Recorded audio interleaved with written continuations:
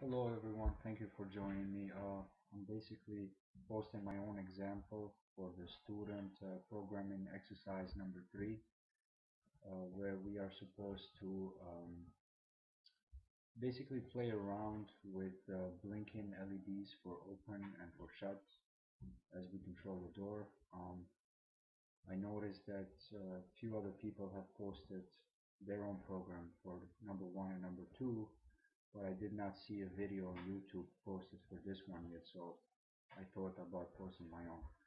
Uh, basically, I use a lot of um, um, latches, which are not, uh, which is kind of frowned upon, uh, PLC programming.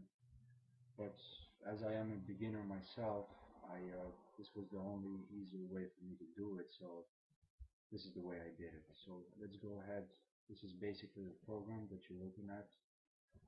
I have unlatch and latch reversed as I switch from open to close.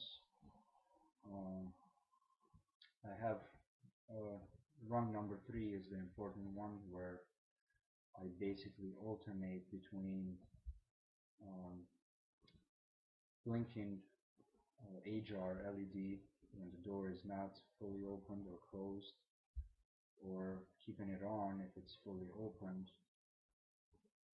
or fully closed. Actually turning it off, I'm sorry, turning it off when it's fully open and fully closed.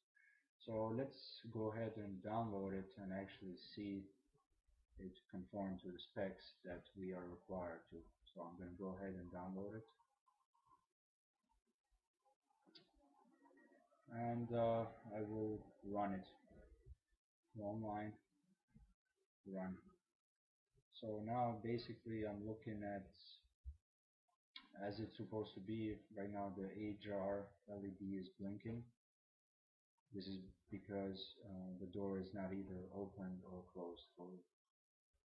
And I'm doing that in run number three. Basically I have the PLC timer um, which you can see it through here bits S4 7 I use for this since it's uh, we are required to make it one-fourth as fast as uh, as the LEDs when the door is opening or shutting down.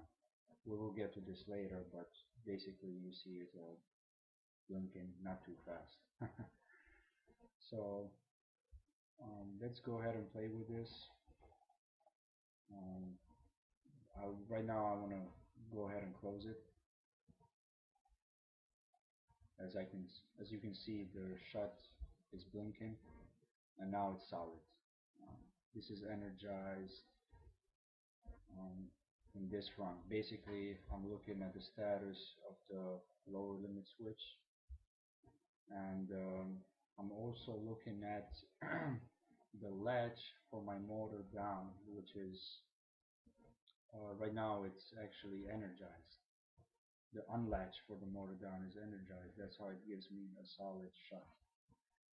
So if I go ahead and open it, uh, we'll see we both conform to the AJAR being solid when the door is uh, opening and the open LED is uh, blinking. That's in run number 5. I'm basically looking at the motor up. Let's slow it down a little bit. The motor up and I have another timer here. Same same uh, concept. So I'm gonna let it go to all the way at the end. And if I again if I stop it I will still see the AJAR blinking but not solid as when the door is in movement. So if we go all the way up, uh, we have a solid open as it's supposed to be.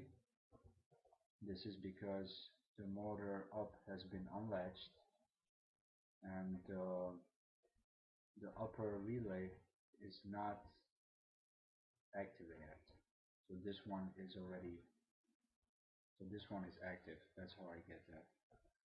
And this is basically it we can run it a few times we can see it blinking and then we can go the other way the open is blinking and if I stop it you'll see that the AJAR is still uh, one-fourth as fast as the open or the shut. Um, if you have any comments please uh, don't hesitate to post them up or if somebody has a different idea how to do this this was my program. Thanks for watching.